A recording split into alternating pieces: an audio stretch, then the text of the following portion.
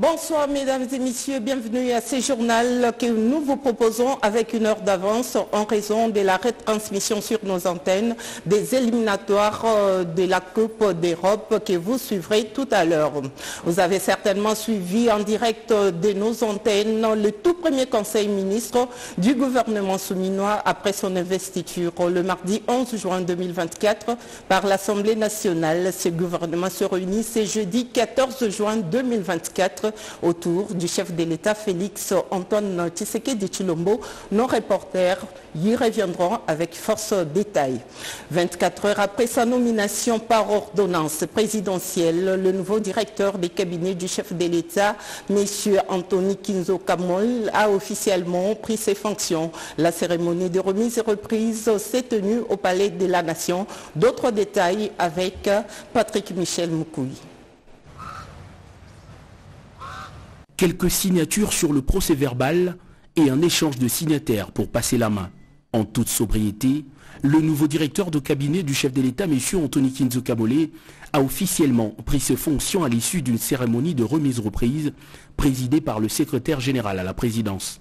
Appelé à gérer la planification des programmes du pays au gouvernement en qualité de vice-premier ministre ministre du Plan, le directeur de cabinet sortant, Guylain Niembo, a remercié le chef de l'État Félix-Antoine Tshisekedi et ses collaborateurs pour l'accompagnement lui assuré. Nous avons vécu des belles histoires et remporté de bons combats et des combats dignes pour la République.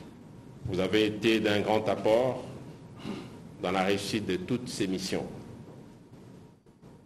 avec un recueil euh, des discours, un clin d'œil pour cette équipe. Je laisse sur la table l'important dossier de la digitalisation de cette administration que nous avons déjà démarré et qui tient le chef de l'État à cœur pour améliorer les services à d'autres institutions de la République, à nos compatriotes et aux différents partenaires de notre pays. Fidèle à ses convictions et à sa méthode de travail, le nouveau directeur de cabinet du chef de l'État, M. Anthony Kinzo Kamole, a dans ses premiers mots appelé ses nouveaux collaborateurs à poursuivre les longs du travail, mais avec un peu plus de dextérité. Ma loyauté et toute ma déférence au président de la République. Arriver à cette fonction, ce n'est pas peu de choses. C'est certainement un arbitrage personnel, un arbitrage spirituel, un arbitrage politique. Mais ce que je voudrais dire à chacun d'entre nous, moi je mesure l'ampleur, je mesure ce que ça représente d'être directeur de cabinet du chef de l'État, mais en même temps c'est que ça représente d'être collaborateur direct du chef de l'État, comme la plupart d'entre vous êtes ici. Ça veut dire que c'est de la mesure, ça veut dire que c'est de la discipline. Je voudrais vous dire une chose, chaque fois que vous vous trouvez quelque part, vous représentez le chef de l'État, vous représentez le cabinet, vous représentez la fonction que vous portez. Alors je voudrais que chacun d'entre vous porte ce manteau partout où il sera et dans tout ce qu'il fera. Il y a un tableau de bord qui vous sera donné pour euh, ce que j'appelle une sorte d'état des dossiers pour chacune des cellules. Euh, on voudra les avoir, on vous donnera probablement cinq jours ou une semaine. J'aurai une rencontre avec les différents directeurs de cabinet adjoints et j'aurai des rencontres avec chacune des cellules. On va s'asseoir, on va discuter, on va échanger, autant de temps que ça va prendre, mais chacun devra connaître ses dossiers. Euh, on va découvrir. Ce sera pour moi aussi un test pour chacun des CP et aussi pour chacun des conseillers. Et je vous en supplie, on se met au travail. De la même manière que vous avez travaillé avec Guilla, vous allez travailler avec moi.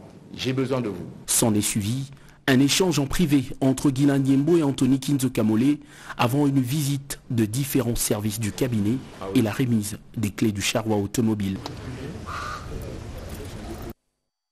Londres, capitale de l'Angleterre, a accueilli la dixième édition des discussions sur l'investissement et leadership de l'Afrique.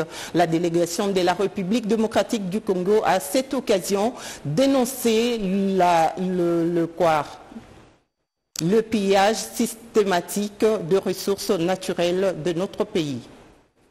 La dixième édition de BAT Africa a servi de cadre pour débattre sur les rôles de l'Afrique dans les commerces international, investissement et son leadership dans les concerts des nations par les dirigeants africains et les hommes d'affaires du monde. Grâce à ses ressources naturelles, son économie de plus en plus dynamique et sa population qui va doubler d'ici 2050, les continents noirs se positionnent comme étant un acteur majeur sur la scène mondiale. Cependant, l'Afrique fait face à plusieurs obstacles, notamment des guerres d'agression et le manque d'investissement. La voix de la République démocratique du Congo à ses assises a été portée par une délégation du corps de l'élite scientifique de l'IDPS conduite par son coordonnateur national, Dr Soft Mukuna, pour représenter le secrétaire général, sénateur Augustin Kabouya Empêché. À cette occasion, Soft Mukuna a présenté les opportunités qu'offre le pays de Félix Antoine Tshisekedi Tilombo dans le secteur d'investissement et les avancées significatives réalisées par les gouvernements pour améliorer le climat des affaires. Les pillages systématiques des ressources naturelles de la République démocratique du Congo par les Rwanda avec la complicité des multinationales en tuant la population civile était aussi évoqué par ces cadres de l'UDPS. À l'issue de ces plaidoyers, ces hommes d'affaires ont résolument pris l'engagement de venir en République démocratique du Congo discuter directement avec les entrepreneurs congolais. Question de booster ces secteurs. Les travaux de modernisation des 7000 routes prévues dans les contrats chinois seront bientôt lancés dans certaines communes de Kinshasa, ce qui réjouit la population. Gaëtan Magalano pour d'autres précisions. La population des communes de Mongafula, Njili, Sele et Kimbanseke attend avec impatience le lancement des travaux de construction des deux rocades de Kinshasa dans le cadre du programme sino-congolais. Ces infrastructures permettront de désengorger le trafic et de stimuler l'activité économique dans ces zones densément peuplées de la capitale congolaise. La première rocade dans le sud-ouest longue de 18 km reliera Lutendele à Kimvula, alors que la seconde dans le sud-est de 46 km s'étendra de Mitendi à Gili Brasserie en passant par Kimwenza et Njoko pour chuter sur la nationale numéro 1 pour un total de 63 km. Les usagers de cette route se disent satisfaits de voir le président de la République, Félix-Antoine Tshisekedi Chilombo, initiateur de ce projet, s'impliquer personnellement pour sa réalisation. Cette fois-ci, soki président ye moko akoya kosala inauguration. Awa na pk 00 tokosepela makasi mpo na ndenge ya kobomisela biso nzela vraiment tozonyokwama na nzela oyo. Kolongo awa ti lukendele jopol ti ngudi ya baka okebima na mitendi kuna vraiment pasi na pasi tosepeli na mokonzi ya mboka ngangi ide oyo ya nzela oyo nzambe apambola eza malamu mpo na population tosepeli nzela toyoki okende ti bakongo ti kasangula kozala bien efasilite mpe biloko ezouta bakongo eya boye tokóma awa na baparking ekozala malamu Nous souhaitons que le président Félix Antoine Tshisekedi, que nous avons massivement élu, en lançant les travaux, qu'il mette l'accent sur euh, le point du suivi et évaluation. Suivi pour savoir est-ce que tout ce qui est dans les cahiers de charges est bien suivi? L'évaluation dans l'objectif de voir est-ce que nous réalisons les choses selon le plan qui a été établi. Les indicateurs, quoi. batusalila nzila tutafuta transport tutanyokama tutamona pasize lau ya tusepele batusalila nzila tokangala bien bakuwetu kuna ba- ba- bakumaka bien Il faut aussi retenir que ce projet est piloté par l'Agence de pilotage, de coordination et de suivi des conventions de collaboration signées entre la République démocratique du Congo et les partenaires privés, dirigée par Freddy Yodi Shembo, et dont les travaux seront exécutés par l'entreprise chinoise CISC SA sous le contrôle de l'Agence congolaise des grands travaux, maître d'ouvrage délégué du ministère des Infrastructures et Travaux publics. Plus de 10 000 déplacés des guerres du camp Boulengo au sud-est de la ville de Goma ont bénéficié des vivres et non-vivres gestes des cœurs posés par l'église méthodiste unie Congo-Est dirigée par Monseigneur Undayemba Gabriel. D'autres détails dans son commentaire. Ces déplacés répartis dans plus ou moins 2500 ménages sont de la nouvelle vague venue du territoire de Massissi et non pris en charge par les humanitaires dans les camps de Boulengo. Tous unanimes saluent ces gestes généreux de l'église méthodiste unie au Congo-Est. Merci Papa Monseigneur Undayemba pour tous ces dons. Nous remercions l'Église méthodiste unie du Congo-Est. Eh, eh, baba yetu Undaemba atusaidie aendelee kututetea Pour Jean Chomba, coordonnateur des urgences de l'église méthodiste au Congo, UNU-Est, sa communauté ecclésiastique et son évêque Undaïmba Gabriel ne cesseront d'apporter les sourires aux nécessiteux car l'amour du prochain est une recommandation divine. L'assistance aujourd'hui atteindra plus de 10 000 personnes, ça c'est sûr. Et approximativement, nous pouvons euh, atteindre 12 000 personnes qui seront des bénéficiaires directs grâce à cette assistance. Au-delà de ces biens en vivre et non vivre, la communauté méthodiste Congo-Est ne cesse de prier pour la fin des atrocités sur toute étendue de la République démocratique du Congo. Changeons des chapitres. La commémoration de la journée internationale de l'environnement au Nord Kivu a été marquée par une conférence débat suivie de plantations communautaires, activités lancées par le vice-gouverneur de cette province. D'autres précisions dans ce reportage. Je déclare officiellement lancée la journée mondiale de l'environnement en province du Nord Kivu, édition 2024. La journée mondiale de l'environnement a été célébrée ce mercredi 12 juin 2024 à Goma, journée organisée par l'Université de Goma, Unigom. Son recteur, Mouindo Muhanda, à travers son établissement, a pris l'engagement de contribuer à la protection de l'environnement. Elle voudrait que tous les partenaires qui se trouvent ici considèrent cette journée comme la journée du début d'une collaboration stable. Le vice-gouverneur du Nord Kivu, Jean-Romuald Kalipopo, a interpellé la conscience de chacun dans la prévention et la préservation des écosystèmes. Pour lui, finir la guerre, c'est contribuer à la protection de la biodiversité. Opportunité accordée à tous les acteurs environnementaux du monde est de sensibiliser les différents pays du monde à prendre conscience des dangers prévisibles résultant de la dégradation et de la destruction de l'environnement. Monsieur Touver Undi, expert environnementaliste, et bienvenue Bwende, porte-parole du Parc national de Virunga Penvi, qui a financé cette activité, ont déploré l'insécurité et l'exploitation illégale des ressources naturelles dans les aires protégées. Un acte d'engagement pour la protection de l'environnement a été signé par les parties prenantes. La journée mondiale de l'environnement a été célébrée au Nord Kivu sous le thème La guerre d'agression et l'arbre dans la restauration de nos écosystèmes et la transition écologique pour un environnement sain. Les travaux de réhabilitation de l'axe routier Sirobounia sur la nationale numéro 25 viennent d'être lancés par le gouverneur sortant de, la province du Bazuélé. C'est un reportage de nos confrères de la RTNC Bazuélé.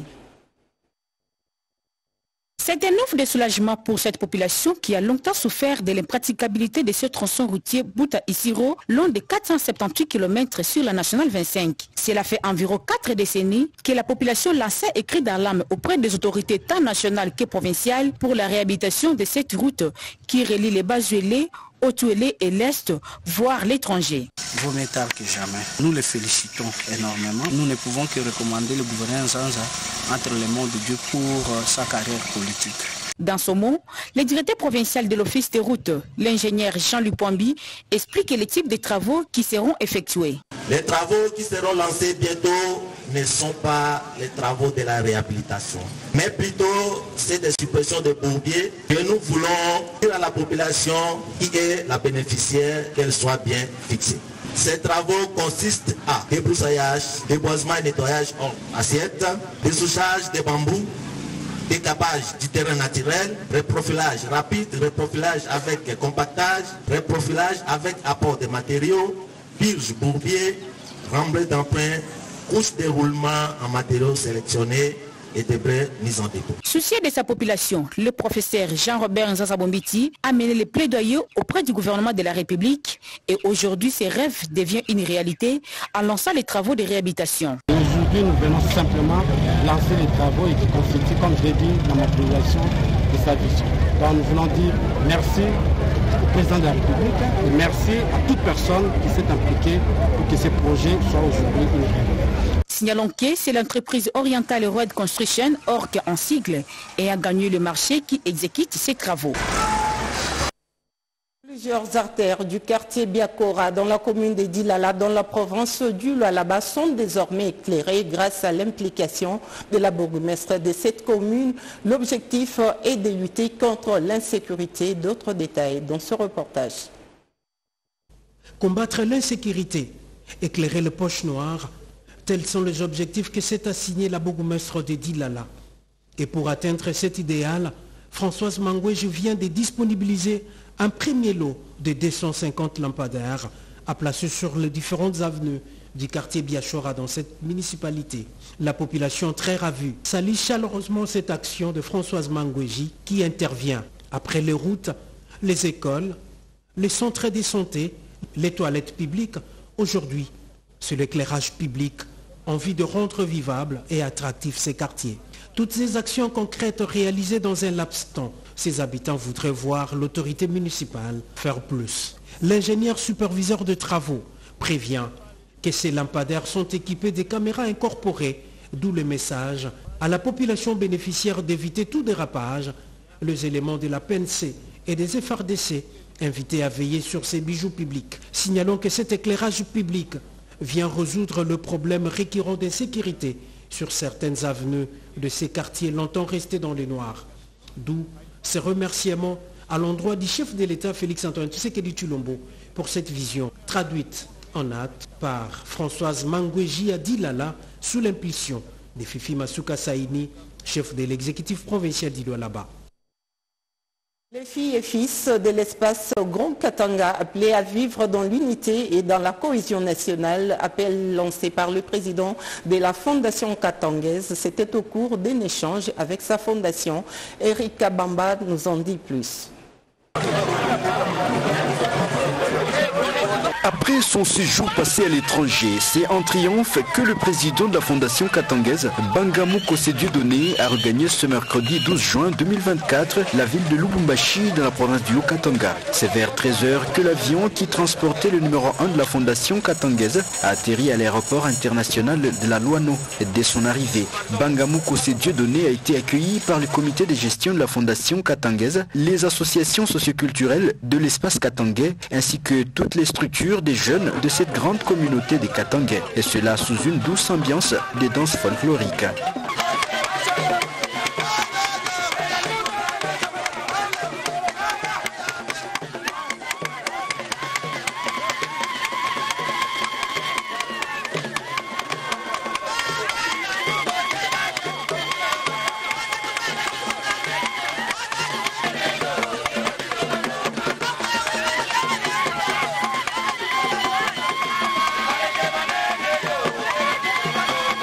Aussitôt après, le patron de la fondation katangaise s'est dirigé vers le siège de cette structure située sur le boulevard Msiri pour une série d'audiences.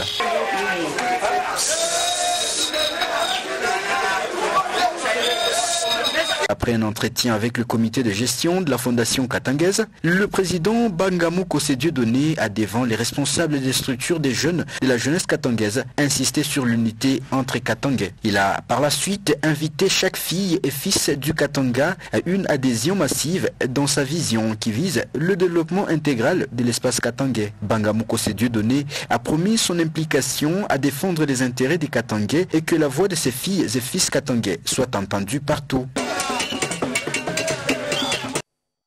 La mise en œuvre effective et rationnelle des enseignements ouverts et à distance en République démocratique du Congo à la base de la table ronde organisée par le secrétaire général de l'enseignement supérieur et universitaire qui par ailleurs a échangé avec les partenaires du secteur numérique TT Bangunda pour d'autres précisions.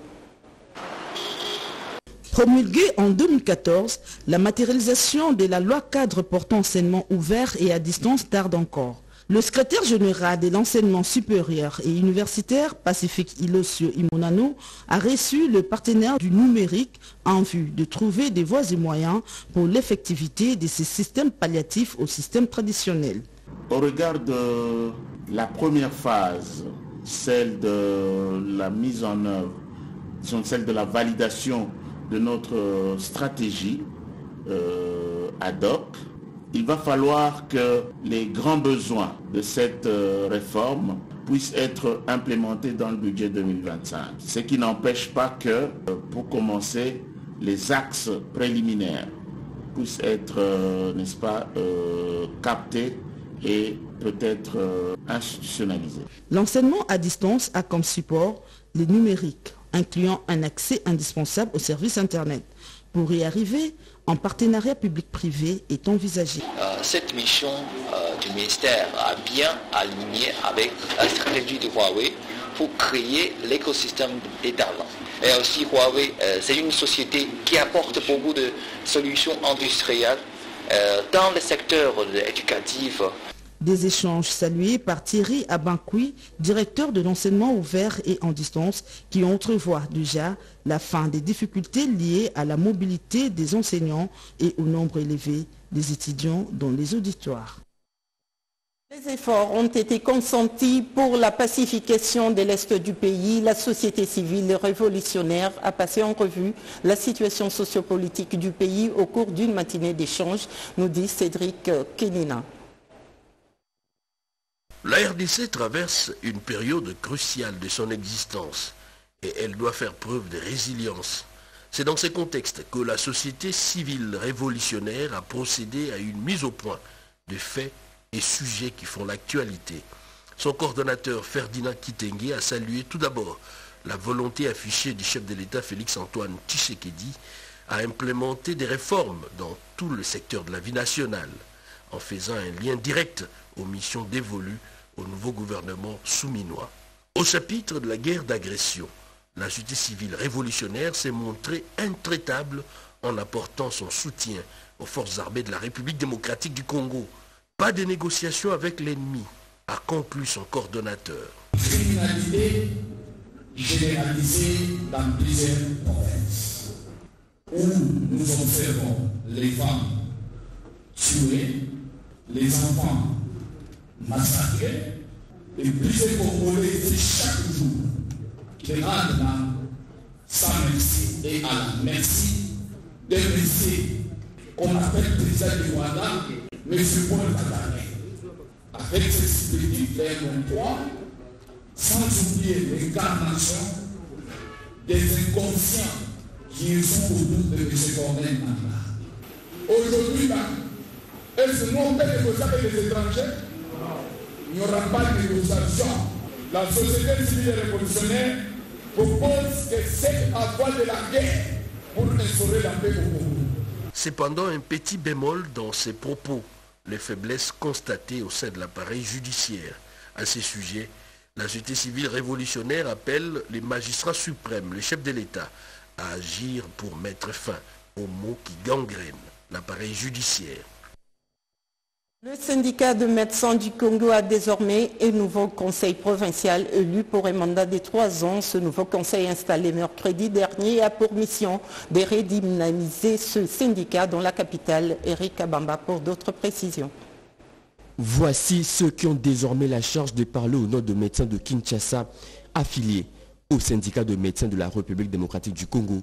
Le membre élu du conseil provincial investit ces jours pour un mandat de trois ans devront porter haut les attentes sociales de médecins de Kinshasa. Le message le plus important est de rassurer tous nos affiliés qu'à l'issue de ce processus électoral, ils ont désormais des élus qui vont valablement parler en leur nom et leurs problèmes socio-professionnels pourront être résolus à travers les actions qui seront menées par les nouveaux élus. Il va de soi que le représentants des médecins sont avant tout des médecins qui sont censés être régis par une certaine éthique une certaine déontologie qui doit les amener à pouvoir toujours contrôler leur comportement, leurs actes dans tout ce qu'ils font, et ce, dans le respect des lois de la République, dans toutes leurs actions.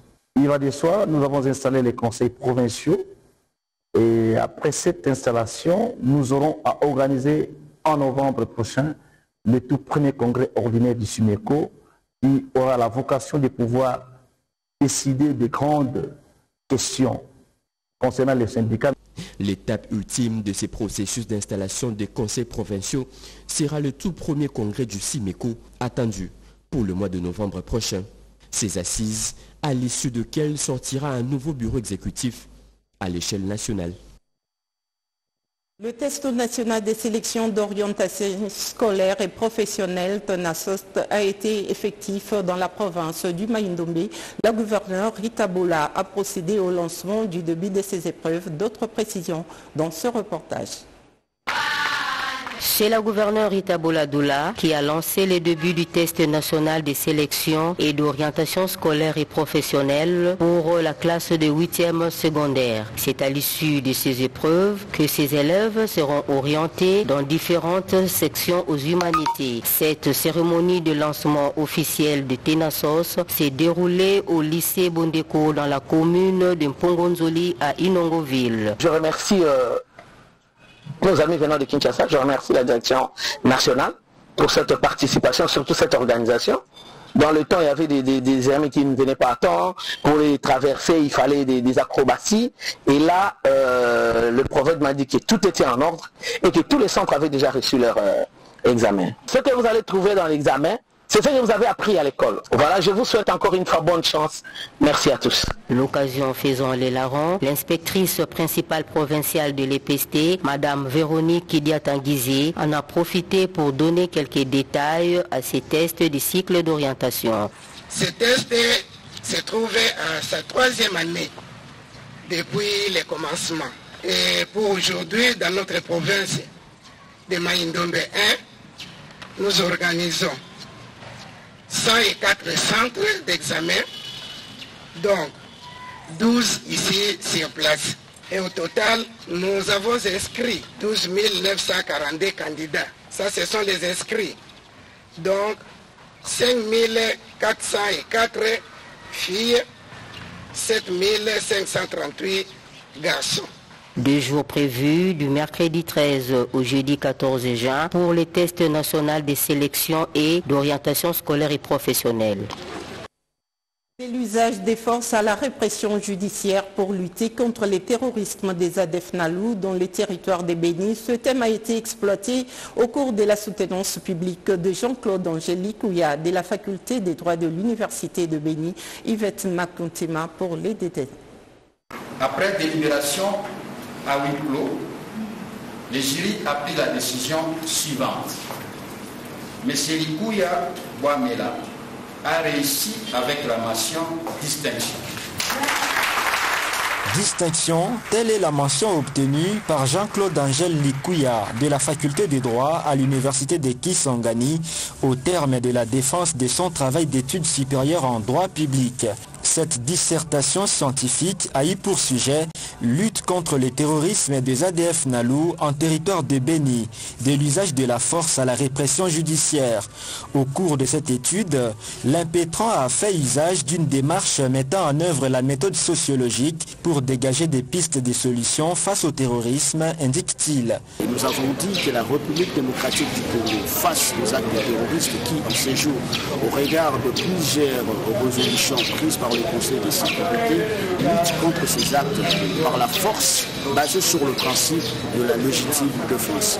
À ce qui concerne la théorie de la répression judiciaire, ici nous avons relevé que c'est à travers le cours de tribunaux que la République démocratique du Congo peut lutter contre les actes terroristes des ADF. Et enfin, il faudrait rationaliser le mécanisme de démobilisation et de désarmement des ADF. À travers ses mémoires défendues avec brio, le récipiendaire Jean-Claude Angèle Likouya, qui est aussi juge au tribunal de grande instance de Kisangani, vient d'apporter une réponse scientifique susceptible d'être exploitée par les décideurs pour lutter efficacement contre le terrorisme en RDC en général et en particulier dans sa partie orientale.